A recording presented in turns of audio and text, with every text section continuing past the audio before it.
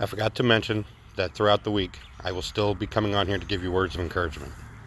Today's words of encouragement Psalms 35. I have learned that his anger lasts a moment, but his loving favor lasts a lifetime. We, wait, we may weep through the night, but in the morning they will turn to shouts of ecstatic joy.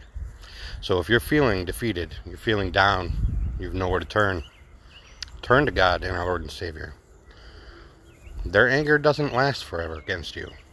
Shall you turn to them and do what is right in their will?